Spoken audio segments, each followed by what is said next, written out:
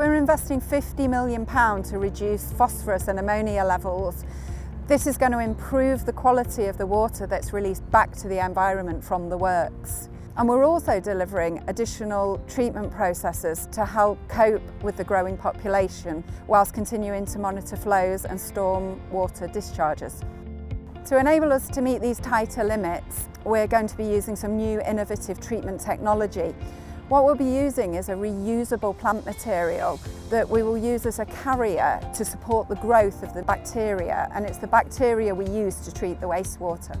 And we're the first water company in the UK to install this mobile organic biofilm plant.